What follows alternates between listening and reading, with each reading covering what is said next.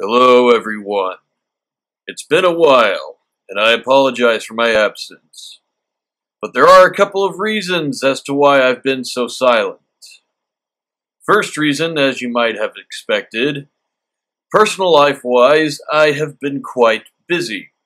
Working and trying to make a film for one of my classes tends to drain me of physical and mental energy. That being said, I have been trying to do videos in spite of this. Which brings me to my second reason. I've been really stumped as to what I should make videos about.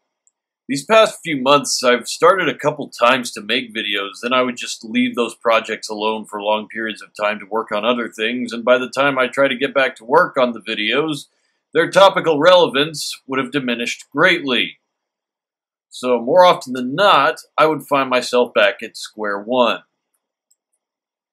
I'm making this video just to communicate to you all what the deal is. I'm still going to be incredibly busy for a while, but you all deserve to know for sure what's going on.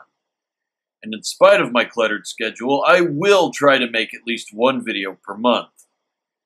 It may not be social justice related, but I will try to produce at least some type of content per month. Anything's better than just leaving the channel in stasis. I don't want to pull a Spoony and just leave my channel in the dust and have it so devoid of activity that most of my viewers would think I'm dead. Although I will admit I'm surprised that my subscriber count is still going up in spite of my lack of activity. Thank you all very much for that. So that's really all there is to say. Thank you all for watching and sticking with me in spite of my lethargy. Hunt well.